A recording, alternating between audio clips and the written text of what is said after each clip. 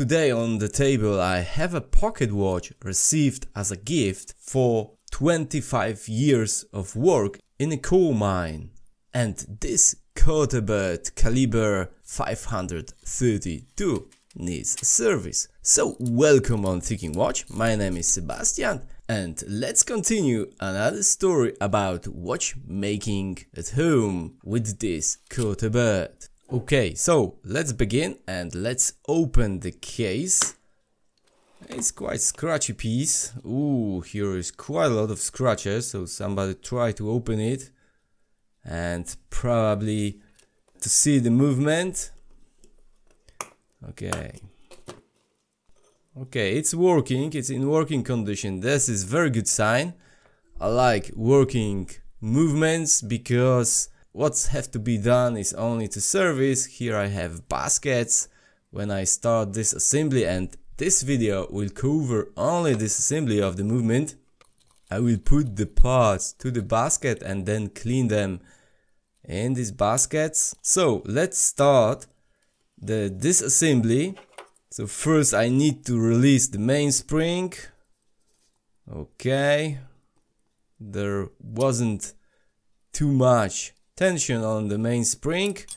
And now let's lose the screw that is holding winding stem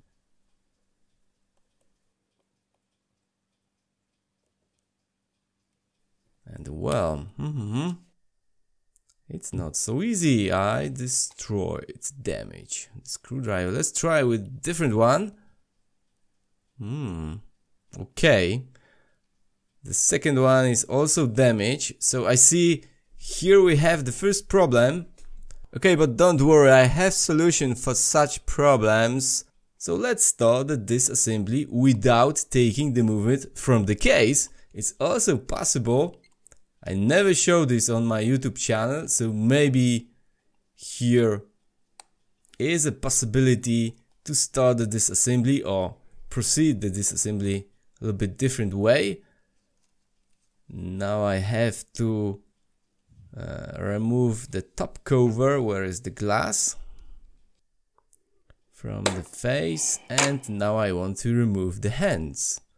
That's quite easy. The foil is only to protect uh, the dial. Okay, the second hand.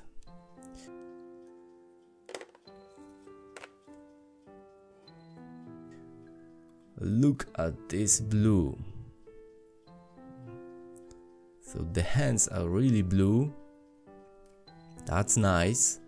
The movement is about from the 1920s. So old watchmaking school. I think now I can remove the ratchet wheel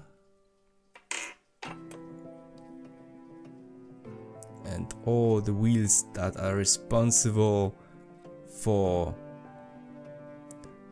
the mainspring for winding the mainspring. This is a left threaded screw. Mm -hmm. Let's take this wheel out. This one looks like that, a little bit differently. Here's also some dash. And also this spring. Have to be removed, so now I can remove all these three screws that are holding the mainspring bridge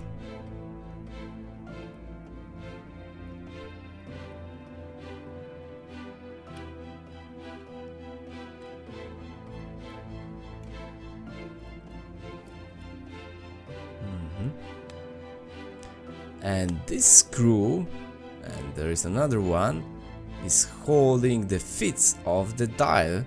So now I want to remove the dial.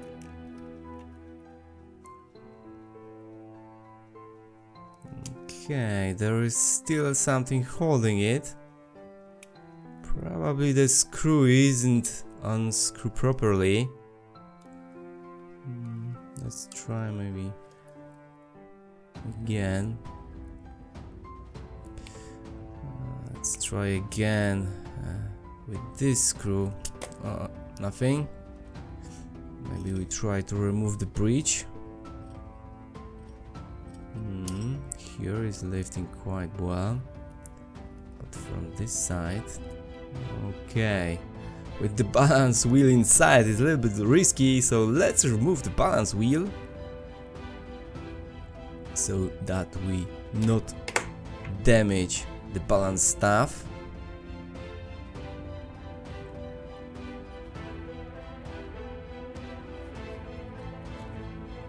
Quite big parts here. Something a little bit differently, well, maybe it's the same, but bigger comparing to wristwatches. Okay, the balance wheel is removed. So now we can remove the breech. Okay, it's not so easy as you see. It would be much easier to have uh, the movement on the watch, uh, on the movement holder. Okay, so here we have the bridge. And uh, here are the feet and I see this screw is still holding the one feet. Therefore was the problem. Uh, we'll push the feet and here we have the dial. Very nice. And let's continue the disassembly.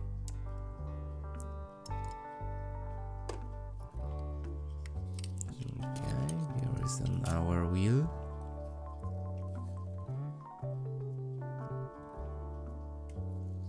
And now I have to remove all these parts here from the keyless work. And I was able to take out the winding stem. So now will be quite easy to remove other parts.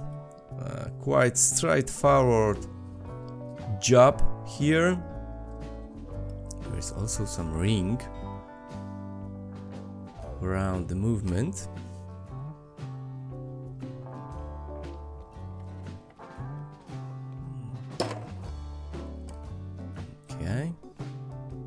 Canyon pinion is removed. Let's now continue with the train wheels. Oh, something like that can lead to scratches. And with such an old movement, it's quite risky. Uh, here are gaps where you can put the screwdriver and lift the bridge. We have quite a lot of patina on these bridges. I will also clean this. After cleaning it should be uh, removed, should disappeared. Okay, now this small bridge, here's also a gap. Small bridge from the escape and wheel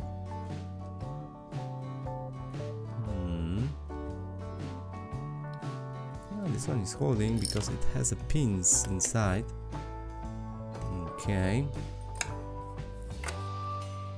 Now the escapement wheel or escape wheel.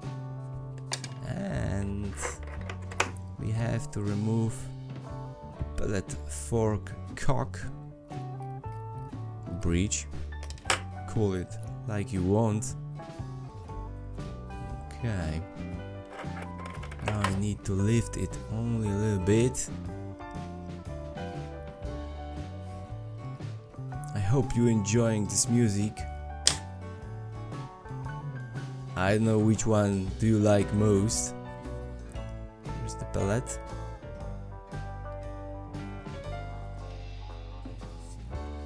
And yeah, what's left is the keyless work and these parts from the dial sides side.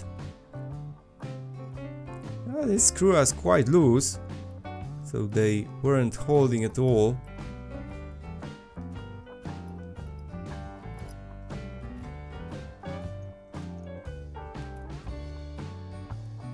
Okay. Oh. See, there is an oil, but it's totally dry, so the movement didn't see service quite long time this one have to stay because I have a rust here so it seems that some water came inside and therefore I couldn't unscrew this part hmm, that's a shame anyway I will clean it and it will be like new after service. Uh, here we see quite a lot of rust. I will use maybe WD-40 and this should help. What's left is to take out the mainspring from the barrel, it's quite easy.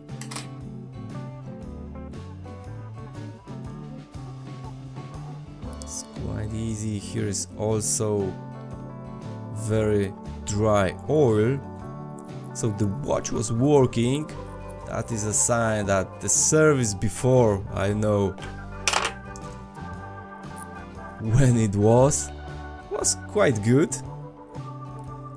but it have to be repeated and I see the mainspring uh, yeah the best years after this mainspring should be replaced. I don't know if I if I have a spur, rather not. So this one will have to stay.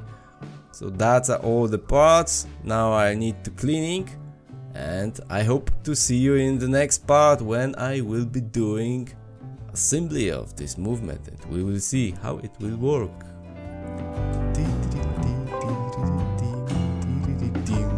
Okay, that's all. Here's the W40 and hope to see you in my next video. Thank you for watching, take care, bye bye.